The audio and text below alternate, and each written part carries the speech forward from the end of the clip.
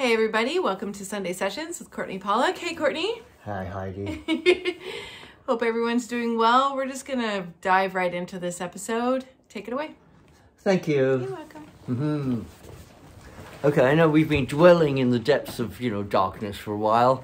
You know, it's not quite the heart of darkness, but it's, you know, pretty grim. And, um, uh, but I'm trying to make it as upbeat as possible because, you know, uh, you take the positive uh, when you can, you know, amongst the most dire of situations. You know, there are a lot more dire situations in the world than, you know, being in, in a, in a, imprisoned, you know, incarcerated. Um, and, you know, being in the trenches, you know, fighting for your life, fighting for your country in a futile war that's, you know, politically motivated or economically, all that crap, you know. Ah.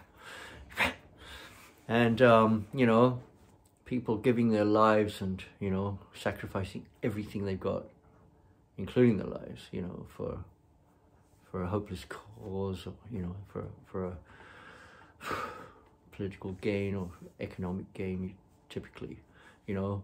And um, I'm doing time for, you know, for breaking the law.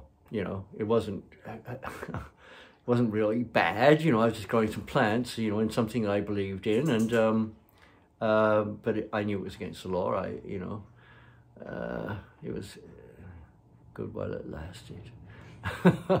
but anyway, um, you know, there's people in there, you know, that have pitiful cases. You know, honestly, they didn't have a good start. They, you know, they didn't- it's all about the man years, as I said before. You know, and and I'm looking at these, you know, ridiculous sentence. Um, and waiting for the DA to uh, get it off his desk.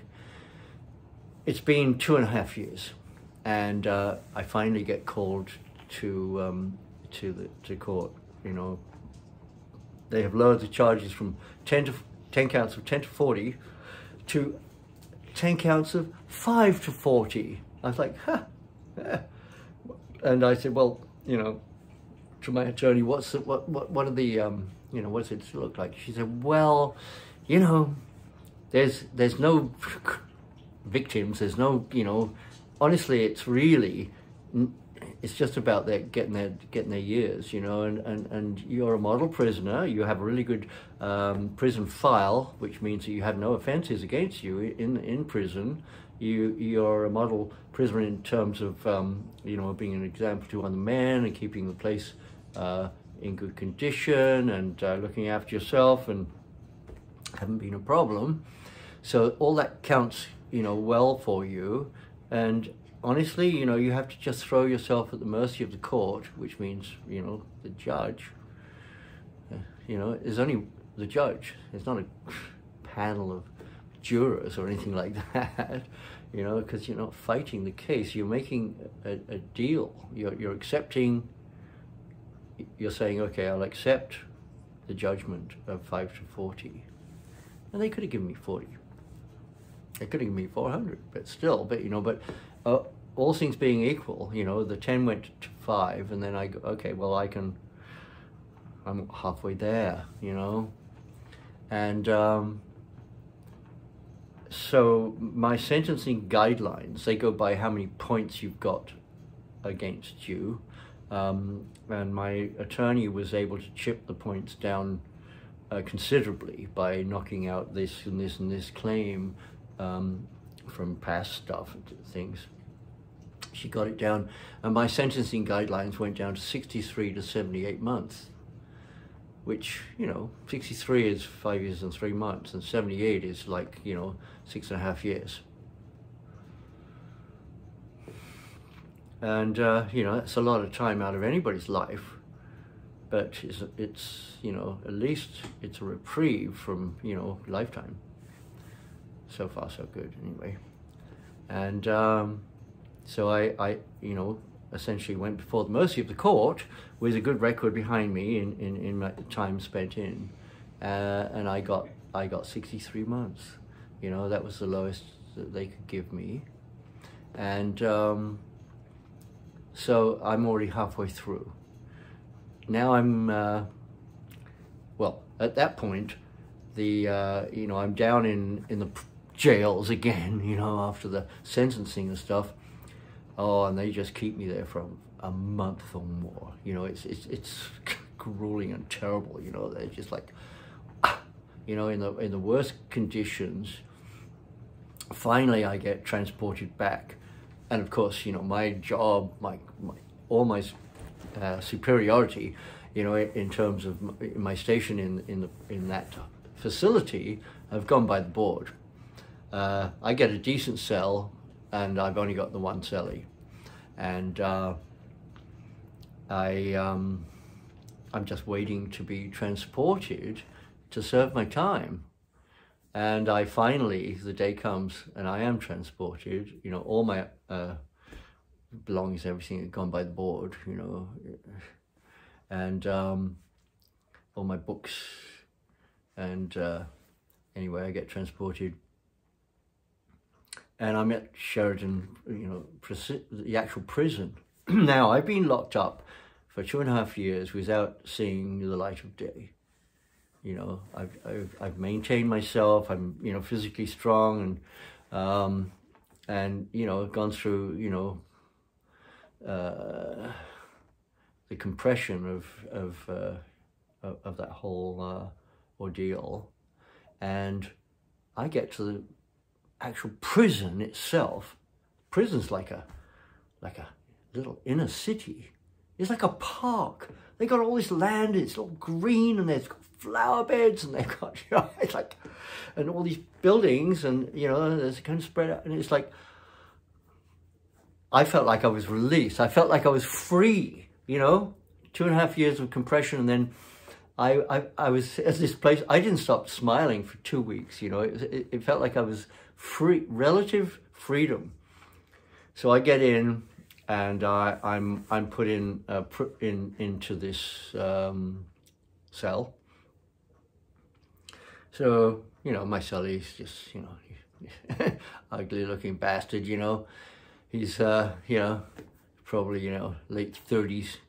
He looks a little like psycho, and uh, but he's got all these books on his on his shelf, and they're all these books about you know, Wiccans you know. And now there's, you know, there's like Druids, Wiccans, all this kind of stuff. I, I've studied all. I've read books. I, you know, I had a penchant for um, for the nature-based uh, observances of, of, you know, way of life. Call it spirituality, but that's not really a good word for it. But um, you know, uh, just to, to have a, you know, to live in harmony with with nature and stuff, right? And um, I said, so you're a Wiccan? He said, uh, yeah, we, yeah, yeah, we, we have our own uh, coven here. I said, oh, it's a coven. He said, he said, yeah, yeah. And I said, how did that happen, you know? Um, he said, well, he said, me and this other guy, we're the only two in the in, in the coven right oh. now, you know, it's me and this other guy. And uh, we observed that the Native, uh, the Native Americans, they were, all religions in the in the federal system have to be observed. This is part of our our laws, and so um, that we observed that the native uh, uh, peoples have their fire pit and their their steam house, and you know they have this plot of land out there, outside of the, the walls, and um, so we decided that we were going to become Wiccans and have our own, you know, robes and candles and bells and, you know, stone altar and fire pit and oak trees. And, and I said, how did that work out? And he said, well, it took two years, but we, we have it all. and I was like, how do I sign up? awesome. so when I got asked what was my religion, and I said, I'm a Wiccan. I used to be a born again pagan, but now I'm a Wiccan. yeah, seriously. yeah. So, okay then, right. Okay, Wiccan. Wiccans have all these high days and holidays, you know, you know, they're all based on Christian religion because the Christian, no, the, the Christian re- religion based all their high days and holidays on, on the Wiccans, on the Druids, on on those old religions that were uh, uh, abroad and well in, in, in Celtic times in England and Wales and Ireland, Scotland. You know, it's like um, uh, and so you know I get to go out.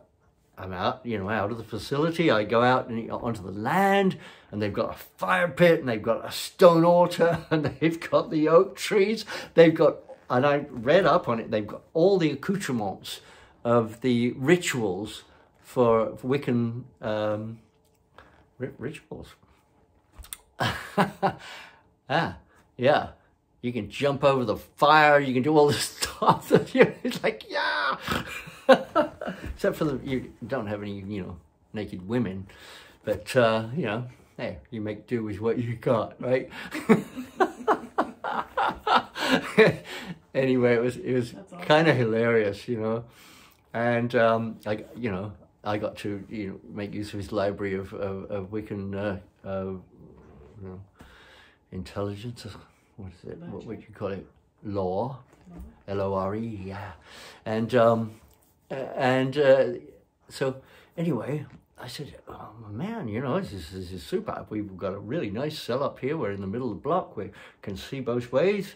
Um, and, uh, you know, we're up above it all. And, um, yeah, I'm, I'm glad to be here. There could be worse places. And he said, so far so good, right? I said, yeah, right.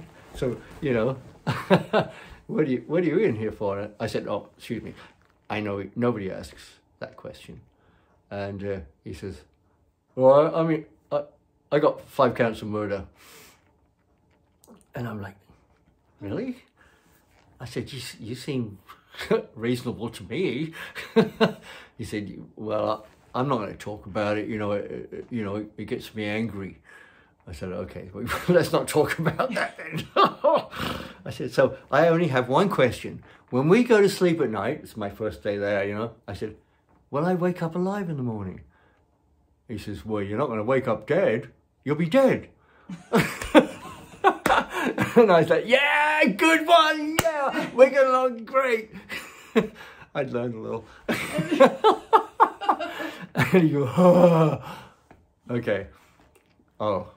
I saw the transformation one time. Somebody pissed him off and he just went over, his whole face changed and he just went, the guy turns psycho, completely psycho. And he was big and he was like ugly and he turned psycho in an instant. And I saw the whole transformation, I went, fuck, oh, man. Shit. Fuck. This guy is a true, you know, monster. So I'm living with the monster. I joined the Wiccans.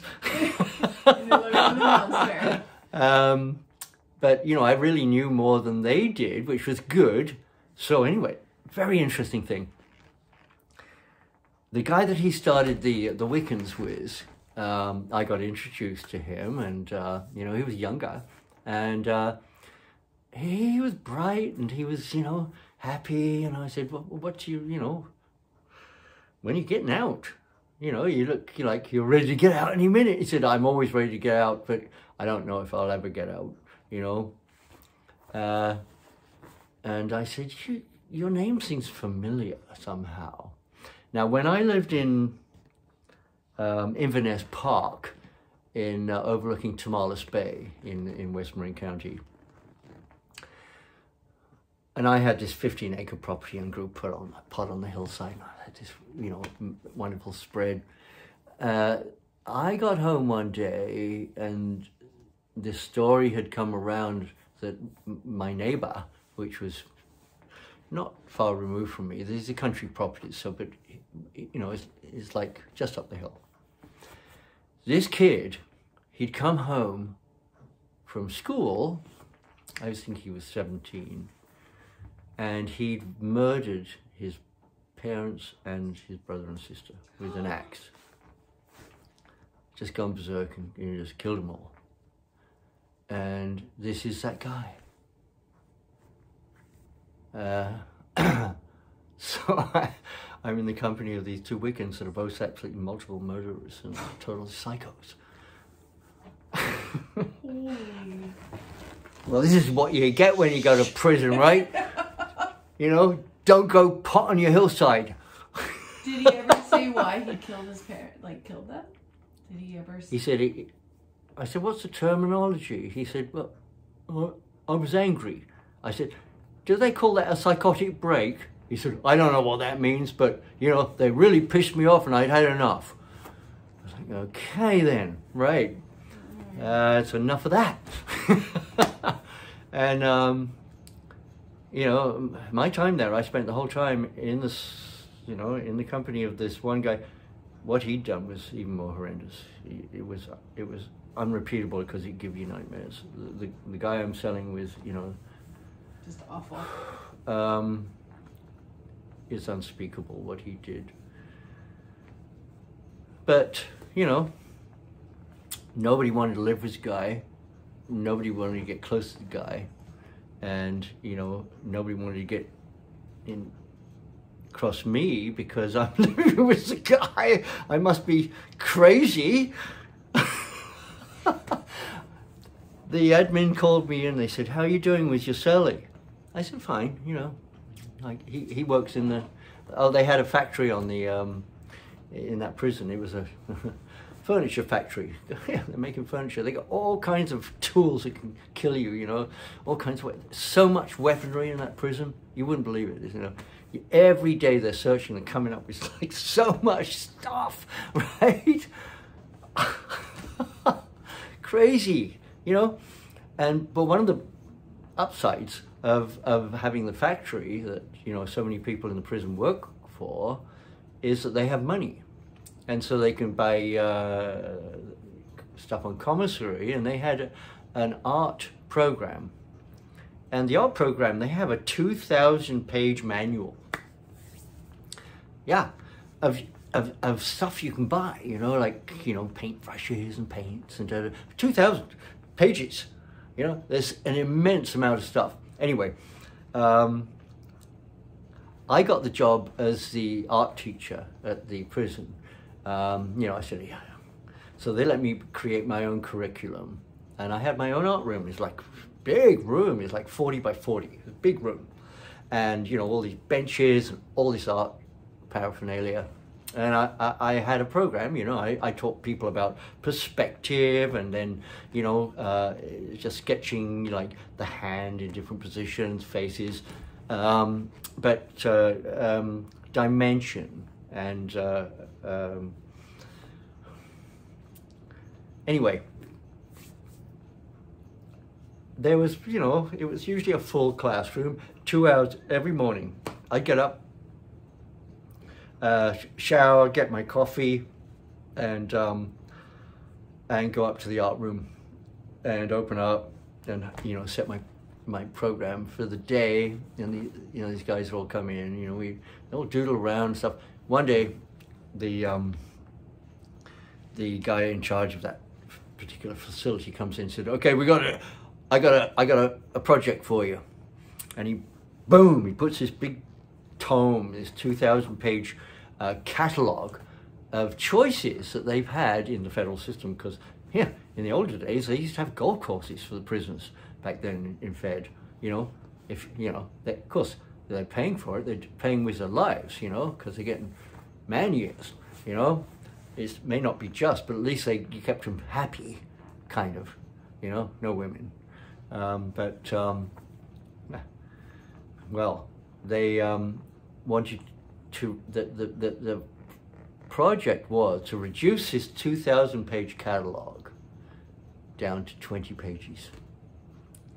And my job, as I saw it, was to facilitate amongst all those choices everything the prison needs uh, to keep people happy you know, and that requires, you know, a number of things, you know, it, it, drawing pens, uh, colors, paper, of course, and different styles and um, paints, and all the way down to tattoos, which are illegal, but they need pigment that can work for tattoos. And my primary thing was like, well, this is a classic prison thing. I, you really do need to facilitate their ability to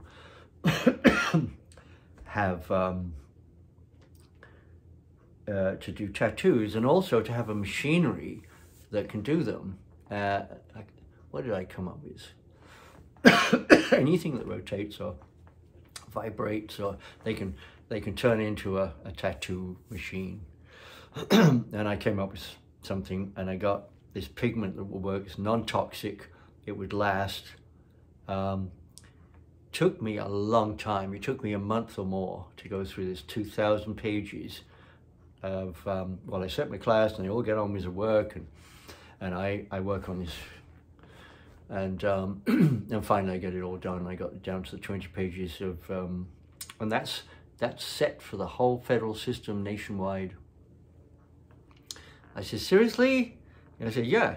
You know, I said, whose job is this? He said, well, they gave it to me, so I'm giving it to you. I said, thank you. Thank you very much. You know, it's like, wow, I feel so privileged, you know? Well, at least I did my, my, my best to cover all of the bases that, you know, people inside might, especially, you know, when a lot of them doing life.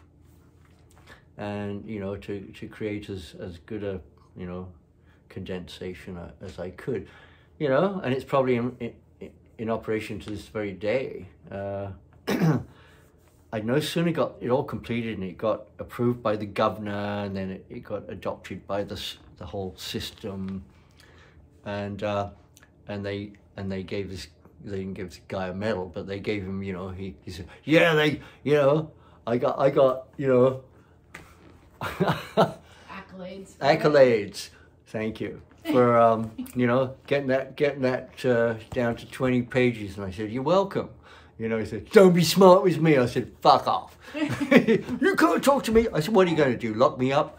You know, fuck off. Yeah. But I mean, you know, you got to take your humor where you can, right? And he was like, ah, you done good. Anyway, next thing I know, I'm getting moved. Did my job. Now I'm getting transported. And I was like, I just get comfortable. Well, we don't want you to be comfortable and we want you to be, you know, suffering, you know? Hey, bam! Wake up and do your time! Ha ha ha! Assholes, you know? That's how they went, you know? I remember being, you know, along the foot of the, you know, wake up, do your time! Fuck off, you know, morons. Mm. Anyway. so I'm uh, getting moved, and I get moved to um, Phoenix, Phoenix, Arizona. Uh, it's probably the worst place I ever was. It, you know, apart from the jails were really bad, but this is a prison. Oh, man, was it bad. Really bad. You know, it's hot. There's all kinds there. It's crowded more than you can believe. Uh, you know, the first couple of weeks there, I was in this makeshift room with with uh, bunks, and so crowded you could touch the guy in the next bunks on either side of you, and you're head to foot and tiered up on these bunks, and um, uh, terrible conditions. but when I went out into the grounds, I looked around. and I said, "This place is a joke. You could just get out of here." And I can see three different ways to get out of here or not without help, but you know, and um, uh, I said, you've got an open airfield right there. They said, yeah, we're going to put all kinds of wires up there, you know, you know, to stop people coming in. I said, oh, you finally got wires to it? Yeah, well, because somebody came in and, you know, picked somebody up, took them out. I said, yeah, that's what I would have done. and, uh, you know, I said, what about that, you know? I was like, nah, you, we're going to make those higher and there's going to be more coiled razor wire and shit like that, you know? And I was like, you guys are a joke, you know? Honestly, uh, you know, good job, you know, most people in here don't have a brain, you know? Made your job a lot easier, but honestly, what a, what a terrible place. And, um, and rough people, you know, there were people just like, they didn't give a shit. they were like there for life and they were like angry and they were just violent. Uh, it was a terrible place. and I, you know, I got on, there was weights and I got on the weight pile and, you know, and I, you know, I could keep up with big guys and stuff, you know. And uh, so I was left alone because, you know, I was part of the tough crowd. Um, and, uh, and I finally got moved to, um, uh, oh, Oklahoma City. Oklahoma City is the hub for the entire federal system for all prisoners that are getting transported from one prison to another. And they this giant hub in Oklahoma City. And you get processed and for the first time in the whole system, you get uh, a, a, thorough medical to, you know, to see, you know, who's got what disease, you know, and tuberculosis and all this, you know, stuff, you know, people, herds of people go in, there's a whole line of them come out with duck masks on, looking like ducks, ducks, you know, wearing masks like we do today, right? Ha! Anyway, um, and uh, so I get my medical, x-rays, all everything. They called me and they said, oh, I see you have a, you know, a pleurolectomy. And I said, a pleurolectomy? I said, that, that sounds like lung removal. They said, uh, yeah, yeah, right? And I said, really? They said, how can you get a lung removed without knowing about it? And I said, well, they didn't tell me. yeah, I had a pleurolectomy and they never told me. I didn't understand the language, you know, the medical language, and I didn't really care. I was alive and I was like out, and I started long distance running again. I started running marathons. I always thought it was a little harder than it used to be. I'm running on one lung, you know? yeah, it doesn't grow back. The so only thing that. Your accident, you had a pleurolectomy? Yeah. Right. It wasn't a frontal lobotomy. No. You know, I'd rather have a bottle in front of me than a frontal lobotomy. anyway, just a little witticism there, to lighten it up. so anyway, I was like, this is the first time I've heard of it. And it's been, how long has it been? It's been a long time. It's been going on 10 years, right? And I was like, wow. They said, how could you not know? And I said, well, they, they really didn't tell me. And I, I knew they'd done some, you know, lung repair and stuff. I had a lung specialist, but I didn't really realize that I'd, you know, I thought I was just out of shape. You know, it's a little harder to run a marathon. Crazy. Anyway, I did my time there uh, at, at that holding center, and it wasn't so bad. It was, you know, and then I get sent to the last stage of the journey. Oh, was that the last one? Oh God, I hope so. I'm sure you all do too. And it was called Eden, Eden in Texas. Well, Eden was like the piss hole of the federal system in the whole system. And it's like, you know, in the middle of the fucking desert in some part of, of Texas. And it was privately run, you know. I think they were, they, they were running, you know, their man years for, you know, 12, 15,000 a year and they're getting paid, you know, 30. And the feds were making, you know, an extra 10 grand plus the 40 for nothing, you know, um, out of the 40. And, uh, you know, and yeah, another weak place that, you know, is, I could see several ways to bust out of, but then you're in the middle of a desert and there's nowhere to go. you couldn't make it to anywhere, you know, it's like, it's a desert. And um, I was like, well, you know, and I had 18 months yet left yet. And uh, so that was my remaining time was in Eden, Texas. Now, oh, one of the things that I did uh, earlier in uh, in Sheridan was we started a rock and roll band. So I'm entertained. I had a captive audience, of course. You know, it was pretty cool here, and um, uh, so here I am now in my last, I've got 18 months and I, I started a rock and roll band. And so we're entertaining the, the guys and they're all deportees. This is a, an installation for, um, it's medium high and, uh, and they reinforced after I got there, you know, and they, I could see so many ways to get out of there, but like like I said, you're in the middle of a desert. And um, they reinforced it all and beefed it up, and um, but it was so it was really a medium to medium high because there's all kinds of grades of, of crime that had gone through, but they're all being deported, so it wasn't they're not being kept for you know twenty you know years or life or something. So it can't be that bad, but you know.